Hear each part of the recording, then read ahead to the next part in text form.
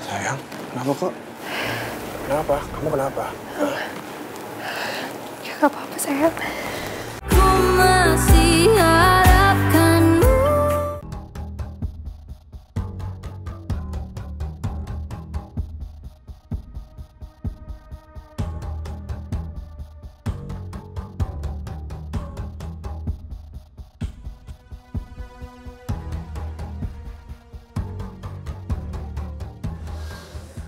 Pelurunya berhasil dikeluarin. Saya akan menjahit luka tembaknya supaya tidak terjadi infeksi.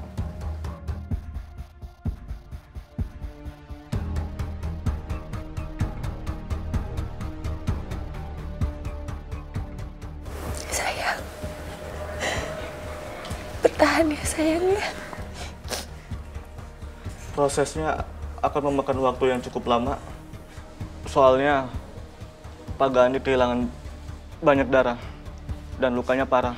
Seharusnya Pak Gani dirawat di rumah sakit saja karena alat di sana terjamin dan bagus dan nyawa Pak Gani bisa ter- tertolong.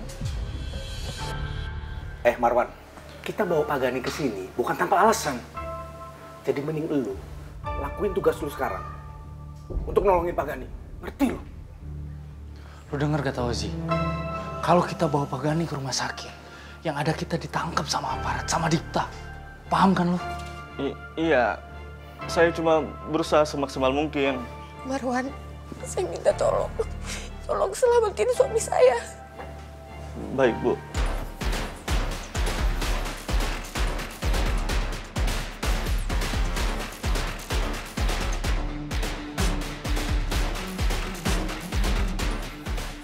Bertahan ya, Pak. Saya mohon.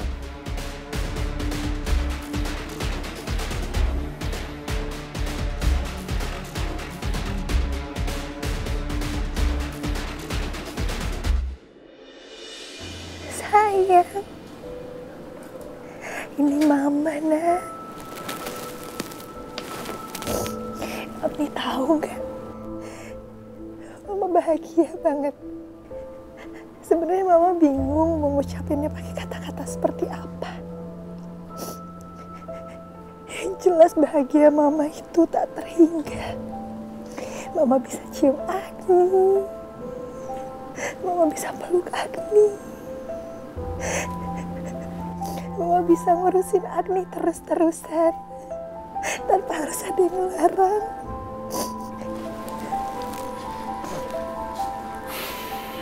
Sayang, Ya mas, ini hasil tes DNA kita sama Agni.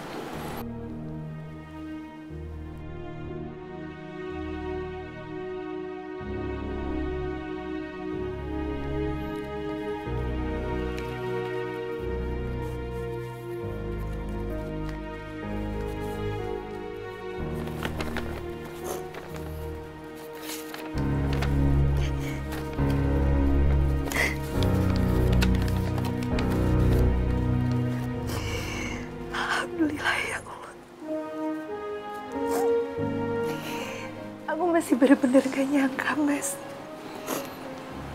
Ternyata Agni beneran anak kita. Tega banget Kak Anggun pisahin aku sama Agni mas. Tega banget Mas Gani sama Kak Anggun pisahin aku sama anak aku selama ini. Mereka ngaku-ngaku kalau Agni itu anaknya mereka. Pantas aja nah, Mama punya ikatan batin yang kuat banget sama Agni selama ini. Makasih ya Allah.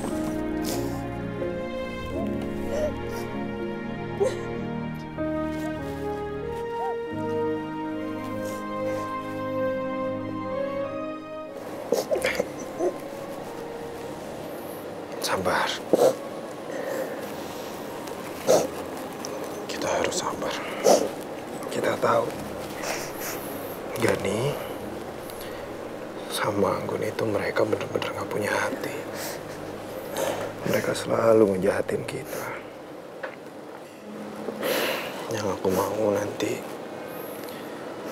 mereka harus bertanggung jawab dengan semua apa yang pernah mereka lakuin ke kita selama ini. Mereka harus menebus dosa-dosa mereka. Kejahatan mereka selama ini terhadap kita ya.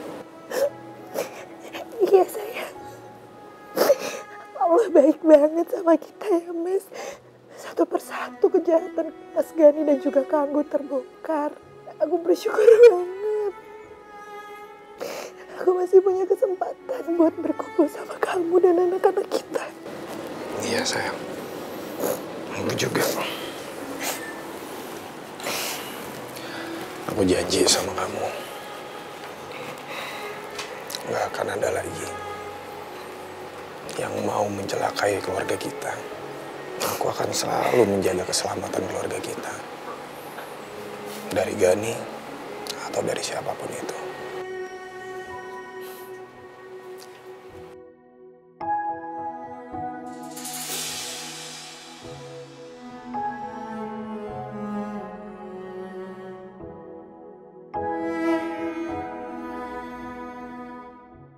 Tolong ya, saya minta sama kalian. Penjagaannya lebih ketat lagi untuk pengamanan buat keluarga saya. Siapa? Apalagi sekarang Anggun sudah kabur bersama Gani. Saya yakin banget sama mereka. Mereka pasti merencanakan sesuatu yang jahat lagi buat keluarga saya. Ya, Siap, laksanakan. Bro, Om. Om juga minta tolong sama kamu ya. Tolong kamu kabari detektif yang dikasih awal kemarin. Tolong dia hentikan pencarian buat Muna. Baik, Om. Tapi tetap ya, dia tetap bekerja untuk mencari Gani sama Anggun. Dan beberapa anak buahnya yang tersisa. Siap, Om. Saya akan langsung kasih tahu soal ini ke detektif. Ya sudah. Makasih banyak ya bantuannya. Siap. Siap, Pak.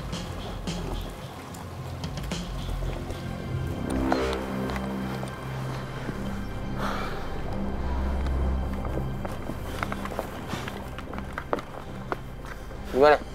Apa ada titik terang? Nggak ada, Ki. Kami sudah menyusuri. Wilayah yang mungkin dilalui sama Gani dan anak buahnya. Tapi kami tidak menemukan jejak apa pun, Ki. Ah! Kami berhasil lolos lagi.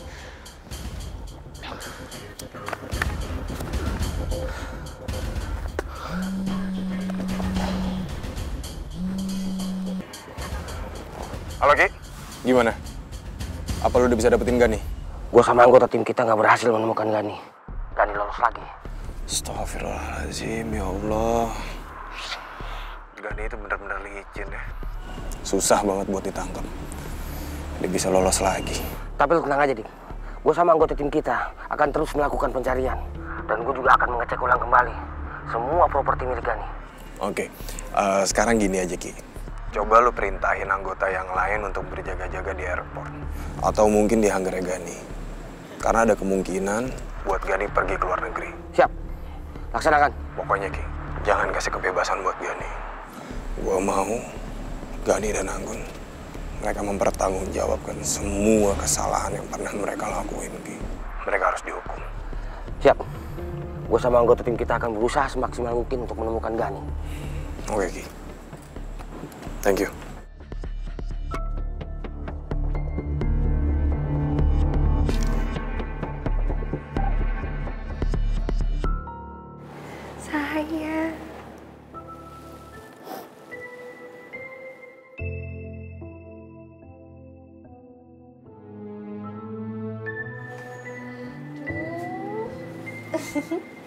Ada yang seneng ya nak ya? Mamanya udah pulang ya nak ya? Farah makasih banyak ya. Kamu udah jagain Agni selama aku diculik. Sama-sama, nak. Pokoknya aku seneng kamu sekarang udah di sini lagi. Makasih udah jadi sahabat terbaik aku ya, Fer. Nak, waktu selama kamu nggak ada, stok susunya Agni tuh hampir habis. Jadi ya aku cari asi pengganti. Ya Allah. Maafin mama sayang. Terus kamu dapat dari mana? Aku dapat dari Bang Asina, dapat dari teman-temanku dulu. Ya kan lumayan untuk stok Agni ke depannya. Sampai kamu bisa fit lagi kasih Agni susu. Alhamdulillah. Tapi Agni gak rewel kan? Sama sekali enggak. Ini anak ini pintar banget. Ya nak ya? Pintar, nggak rewel, pengertian pokoknya. Dah, pokoknya sekarang kamu harus fokus dulu sama kesehatan kamu ya nak. Jangan pikirin lagi yang macam-macam. Oke?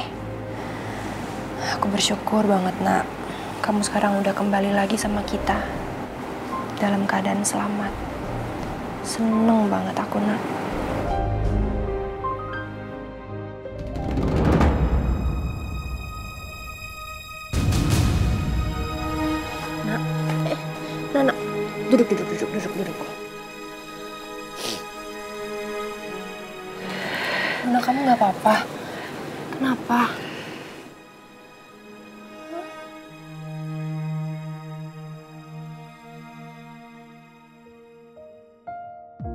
Ya Allah, apa ini efek dari suntikan racun itu? Aku harus kuat. Aku nggak mau ngebuat semua orang khawatir sama keadaan aku. Nak, hey. Apa kamu masih sakit ya? Gara-gara kemarin disekap sama Gani. Mungkin iya, Fer. Aduh, udah. Kamu jangan maksain diri ya. Kamu sekarang fokus istirahat, biar Agni sama aku ya. Aku nggak apa-apa kok, Fer. Justru aku mau ngabisin waktu sama orang-orang di rumah ini. Orang-orang yang aku sayangi. Kalian semua itu obat buat aku. Serius. Aku beneran gak apa-apa. Tapi kalau ada apa pun kabarin aku ya. Pasti. Enggak. Makasih ya, Fer. Sama-sama. Seneng anaknya ini, mamanya udah pulang.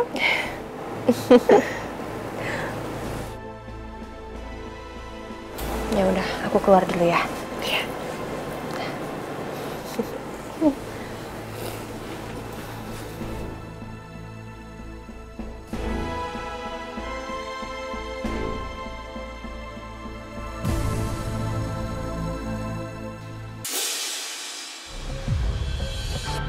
Ini dari Gani dikeluarin pelurunya, kenapa dia belum sadarkan diri juga ya, Marwan?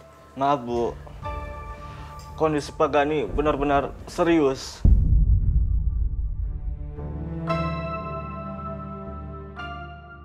Bahwa bertahannya Pak Gani sangat tipis. Kamu jangan ngomong aneh-aneh ya Marwan ya. Omongan kamu tuh seolah-olah kalau Gani bakal pergi dari dunia ini. Kamu jangan asal ngomong. Tidak bu, tapi memang seperti itu kenyataannya. Semua tergantung dari Pak Gani, bertahan atau tidak. Ibu harus menerima kenyataan terburuk yang akan terjadi, Bu.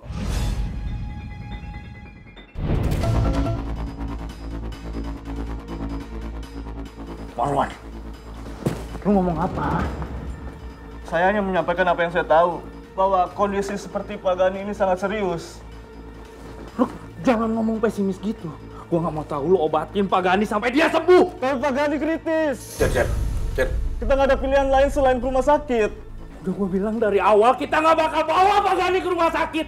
Lu paham nggak apa kata gua, ha? Lu obatin sekarang. Sampai sembuh, lu paham? Cer, nggak bisa.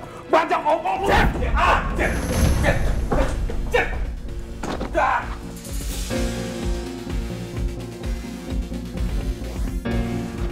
Cer, stop. Percuma lu berantem. Hah? Marwan, kalau kalian berdua berantem, emang bisa bikin Pak Kandi sembuh? Hah? Enggak! Jadi mendingan kita sekarang tenang.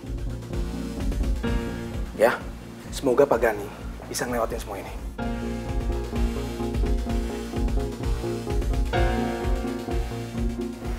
Dan kembali pulih. Oke? Tenang, Jen. Oh, Bu, jadi Marwan, sekarang kita harus gimana, Bu? Marwan. Ibu, Ibu harus menerima kemungkinan terburuknya. Karena kita memang tidak ada pilihan lain selain membawa... Marwan!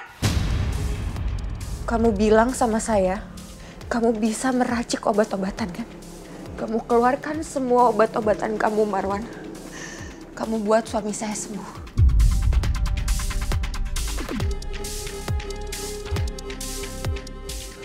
Saya nggak mau tahu. Lakukan. Saya sudah mengobatinya, Bu. Semua saya sudah lakukan.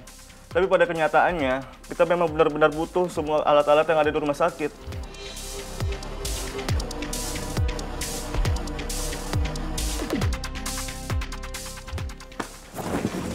Jadi, kita percaya sama kamu. Sekarang kita minta kamu bantu Gani untuk keluar dari masa kritisnya. Lakukan sesuatu, Marwan. Tapi nggak ada pilihan lain, Bu, selain alat-alat yang ada di rumah sakit. Solusinya cuma itu, kita harus punya alat-alat yang ada di rumah sakit untuk menyelamatkan Pak Gani. Apa pun caranya, saya butuh alat-alat itu.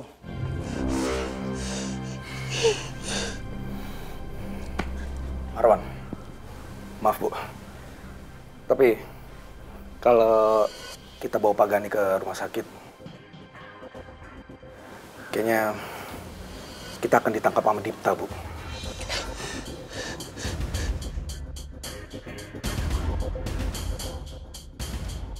Dipta udah mengincar kita bu.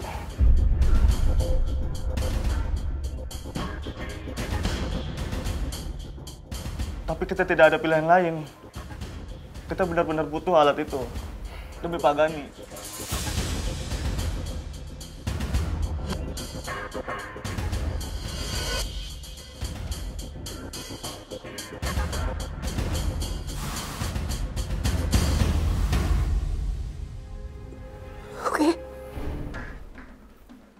Bawa Gani ke rumah sakit sekarang. Jerry, Fauzi, bawa Gani ke rumah sakit sekarang. Saya udah nggak peduli. Saya nggak peduli sama Dipta. Saya nggak peduli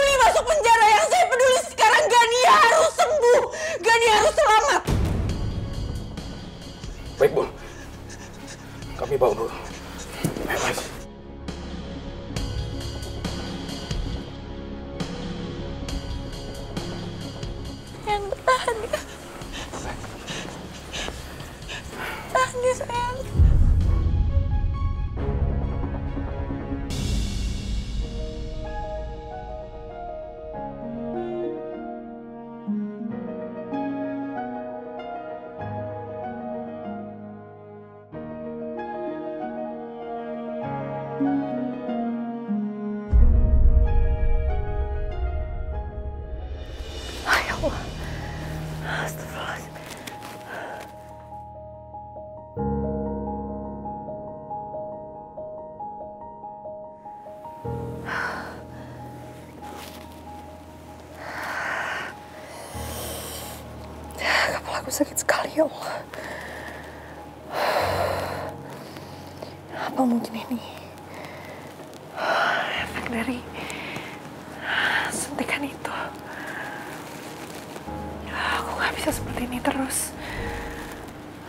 darah saya sakit sekali.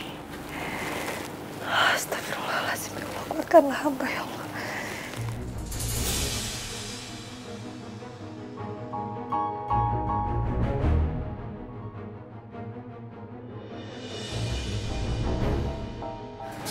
Sayang, kenapa kok? Kenapa? Kamu kenapa? Ya nggak apa-apa sayang. Pusing aja sedikit. Oh, aku ngerti. Kamu duduk aja. Nggak apa-apa sayang, aku baik-baik aja kok. Selama kamu disekap pasti kamu menderita banget. Makanya kondisi tubuh kamu jadi drop kayak gini. Kita ke dokter.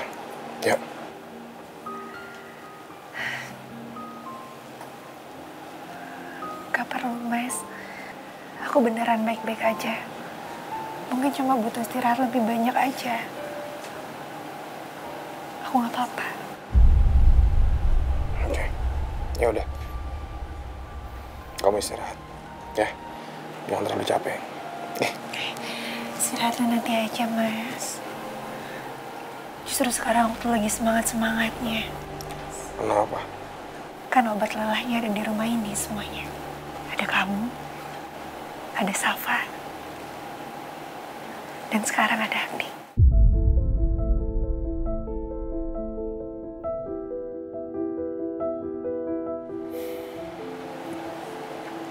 Iya sayang, sama aku juga kok. Aku jadi bahagia banget. Kamu tahu nggak apa yang selama ini bikin aku terharu? Sikap kamu. Dari dulu pacaran sampai sekarang gak pernah sedikit pun berubah. Aku benar-benar bisa ngerasain kalau kamu benar-benar sayang dan cinta sama aku dan juga keluarga kita. Makasih ya mas, kamu selalu ngasih aku rasa aman, nyaman, dan kebahagiaan selalu menyelimuti keluarga kita.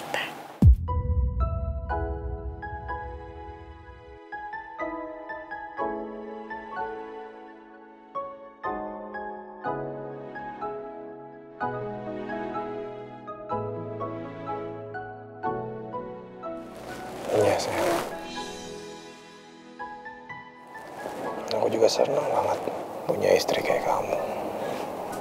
Yang selalu sayang dan perhatian sama keluarganya. Dan aku selalu senang. Karena kamu selalu ada di samping aku.